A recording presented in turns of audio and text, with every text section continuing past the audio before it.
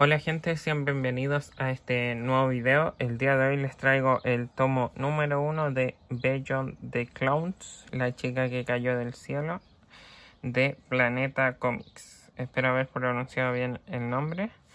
En primer lugar, mencionarles que este tomo incluía esta postal con esta hermosa ilustración, mm, el agradecimiento y la firma del autor o autora. Eh, está plastificada, por así decirlo, venía de esa forma. Y en la parte posterior eh, sirve de postal, no es solo la imagen. Ahora prosiguiendo con lo que es el tomo, en primer lugar veremos lo que es la sobrecubierta. La sobrecubierta está en un acabado mate. Eh, son muy bonitos los, la, paleta de colores que se utiliza.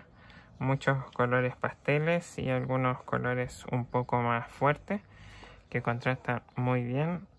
Eh, vemos aquí el título de la obra, el nombre del autor autora, el número del tomo, el logo de la editorial y la ilustración lo que es el lomo nuevamente vemos la misma ilustración que en la portada. Vemos el título de la obra vemos el nombre del autor autora y vemos tanto el número del tomo como el logo de la editorial. En la parte posterior podemos ver eh, una sinopsis de la obra. Ahí pueden parar el video y leerla si gustan y vemos nuevamente parte de la ilustración principal que también está muy bonita. En las solapas por un lado tenemos nuevamente el título de la obra con estos detalles. Ahí pueden fijarse estas pequeñas ilustraciones como de de maquinaria de relojería por así decirlo de engranajes, esa era la palabra que buscaba exacto. Y aquí vemos eh, información sobre el autor o algunas palabras que haya dicho con esta ilustración. Prosiguiendo con lo que es el tomo, eh, vemos nuevamente esta, esta ilustración con engranajes, esta vez eh, sin color, no como en la solapa y en este fondo gris. Eh, vemos nuevamente el número del tomo, el logo de la editorial y el título de la obra. El lomo es exactamente igual, simplemente que está en, en este fondo gris con las letras en negro. Y la parte posterior es exactamente igual a la de adelante. Pasando ya con lo que es el tomo, en la primera página podemos ver esta hoja de color con nuevamente detalles que ya hemos visto en las demás partes del tomo. Y después vemos esta increíble ilustración.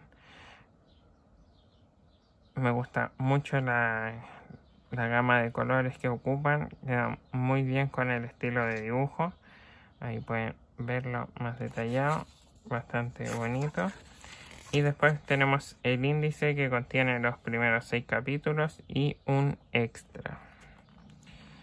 Y ahora iremos viendo algunas ilustraciones. Eh,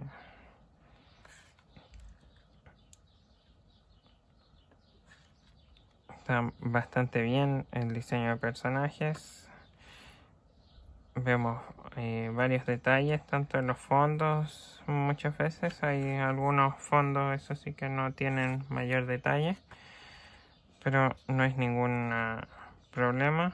Y ahí podemos ver algunas ilustraciones. Y aquí debería venir ya el extra creo.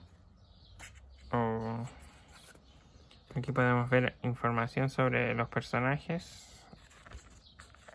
está un poco difícil de mostrarlo para que puedan leerlo ahí vemos un boceto vemos bocetos de sus de sus vestimentas y otra información sobre las mismas. Eh, lo mismo con los demás personajes. Podemos ver otra ilustración, más información sobre los mismos personajes. Ahí pueden ir parando el video si gustan.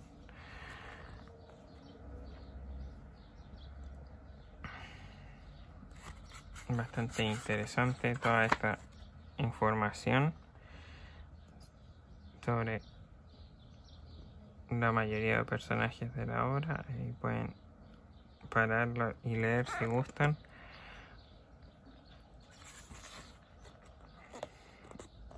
En estas páginas es bastante difícil mostrar lo que dicen las que están más cerca del borde. Varias palabras están muy muy al borde del tomo.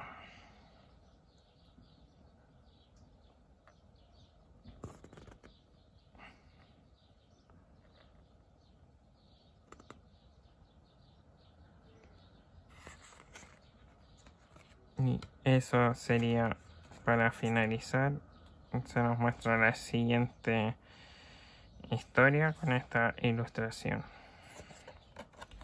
Y eso sería principalmente el tomo. El formato del tomo, si mal no recuerdo, es B5. Es un poco más grande que el Tankobon. Ahí pueden ver la comparación. Tanto de ancho como de alto es un poco más grande. Y eso sería principalmente este tomo. Eh, como suelo decir ya al final de los videos, eh, si les gustaría ver algún tomo o alguna serie en específico, pueden pedirla a través del Instagram o a través de los comentarios aquí en YouTube y yo intentaré traerlo lo antes posible al canal. Espero les haya gustado el video. Hasta luego.